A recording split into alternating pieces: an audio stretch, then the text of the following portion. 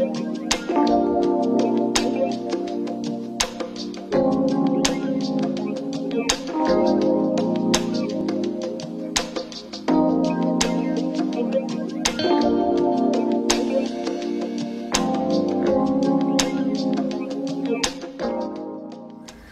¿qué tal? Mi nombre es Yasmín López López, aunque algunos también me conocen como Jazz Lofish.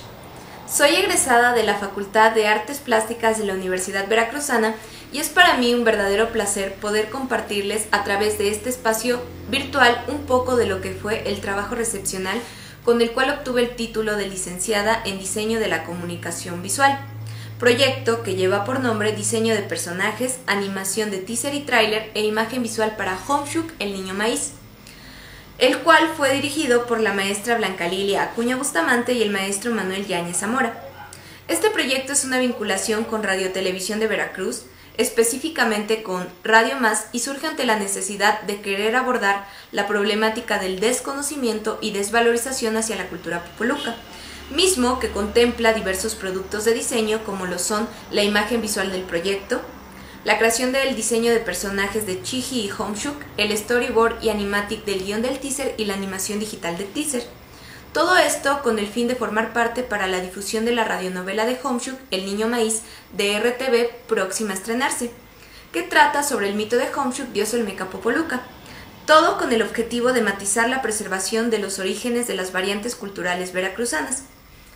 El proyecto llega a mí gracias a la recomendación del maestro Manuel Yáñez, profesor que me impartía la experiencia educativa de realización de proyectos en diseño y el cual más tarde siguió con la dirección de mi proyecto ya en la experiencia recepcional junto con la maestra Blanca.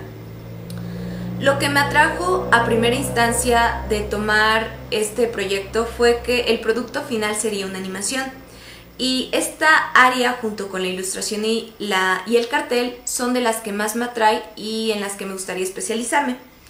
Eh, también algo que me atrajo muchísimo fue el invitarme a retar a hacer cosas nuevas en tanto la animación como en el adentrarme a conocer todo acerca de una cultura que en su momento yo desconocía por completo. Em, ahora bien, les platicaré un poco de cómo fue mi proceso creativo el cual está dividido en tres puntos importantes. En el primero expongo el planteamiento del proyecto, en el segundo la investigación previa y en el tercero el proceso de diseño. En el planteamiento del proyecto me formulé cuál era la problemática inicial de todo este producto que como ya había mencionado a un principio es el desconocimiento hacia la cultura. Teniendo en cuenta esto pasé a plantearme el objetivo que se pretendía obtener una vez finalizado el producto, que es la difusión de la cultura popoluca a través de la radionovela de RTV, que a su vez necesita la generación de todos estos productos de diseño que son en los que yo participé. Después de esto pasé con la investigación previa con el fin de saber en qué consistía el mito de Homeshuk, quiénes son los popolucas, su origen, sus habitantes, sus artesanías, sus fenotipos y todas estas características que me permitirían a mí de alguna manera el irme visualizando cómo podría plasmar la identidad de la cultura en cuestión en mis personajes. Posteriormente pasé al siguiente y último paso, el proceso de diseño, en donde comencé con un bocetaje de mis personajes protagónicos, los cuales son Chiji y Homeshuk, en donde Chiji es un tlacuache y Homeshuk es el niño maíz. Primero hice todo el bocetaje de Chiji, donde comencé con un estudio de formas reales de tlacuaches para más tarde hacer toda esta aglutinación de fenotipos popolucas con mi personaje e irle incluyendo algunas características eh, particulares de las vestimentas típicas de la región. Este proceso lo repetí con Homeshuk, sin embargo, para este personaje fue un poco más difícil ya que no se encuentra mucha referencia visual. De hecho, la única pieza que se conoce de él se encuentra en el Museo de Antropología de Jalapa, pero no era algo que me permitiría a mí el plantearme cómo sería mi personaje completo. Es aquí en donde el equipo de producción de RTV me ayuda muchísimo proporcionándome algunas fotografías de habitantes de la región Popoluca que me sirvieron a su vez de inspiración para la creación de mi personaje. Después de esto y ya con la selección eh, de la línea gráfica más acorde a los requerimientos del proyecto, se pasó a un estudio ortográfico con el fin de tener una visualización más amplia de cómo se verían mis personajes de frente, eh, de perfil, tres cuartos y por la parte de atrás. Eh, posteriormente se implementó la paleta cromática, la cual se extrajo de colores que representaran la naturaleza y la aventura y los cuales fueron seleccionados con base a la psicología del color que nos presenta Eva Hiller en su libro. Para concluir con el diseño de mis personajes se hizo un estudio proporcional entre ambos, ya en el escenario donde sería la animación. Posteriormente se dio inicio con todo lo de la animación del teaser, en donde el primer paso fue la elaboración del guion, el cual fue realizado por Bruno Rubio, productor y guionista de la radionovela, y el cual a su vez me proporcionó para que yo elaborara el storyboard y después más tarde la creación del animatic que tuvo como finalidad el tener una visualización rápida de cómo se vería ya la animación eh, finalizada y ver que no hubiera posibles errores en él.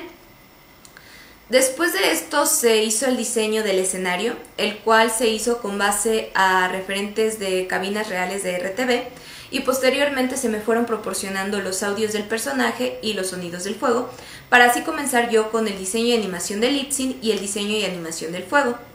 Para concluir todo este paso de la animación del teaser se hizo la creación de la imagen visual, la cual eh, se comenzó con un bocetaje de algunas propuestas y una vez seleccionada la más acorde a todos los requerimientos del proyecto y acorde a la línea gráfica de mis personajes, se le hicieron unas adecuaciones a la tipografía.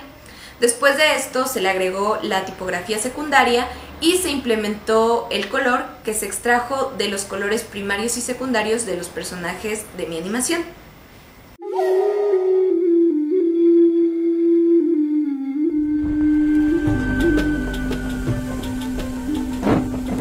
¿Sabes quién es Zeus? ¿O Anubis? ¿Conoces a Shiva? Seguro te suena el nombre de Jehová. Tal vez sí, pero ¿qué tanto conoces las historias que cuentan los pueblos originarios de tu país?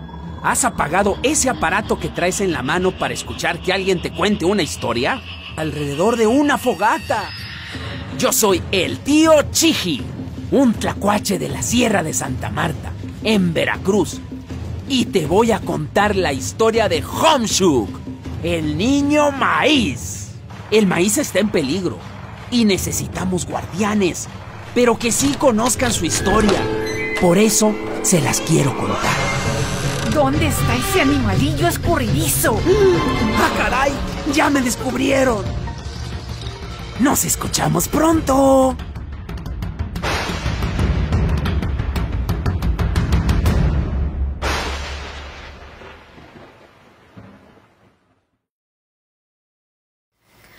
Creo que uno de los momentos importantes que me permitieron alcanzar el objetivo de mi proyecto fue todo este acercamiento real hacia la cultura popoluca. No físicamente, sí se me presentó la oportunidad de ir a la región en donde habitan los popolucas, pero lamentablemente por mis horarios escolares en ese entonces no pude asistir.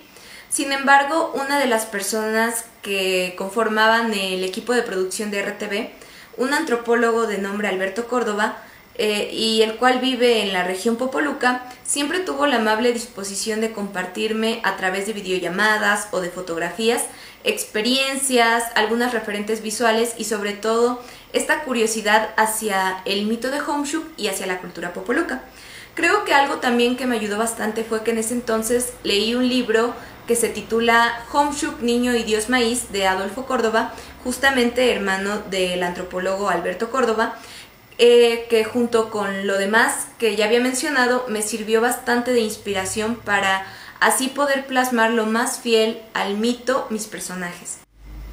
Del lado del proceso de diseño creo que el retarme a hacer cosas que creía fuera de mis ligas creó en mí un crecimiento profesional impresionante y me generó la confianza de sentirme capaz de llevar a cabo un proyecto de la magnitud como lo fue este.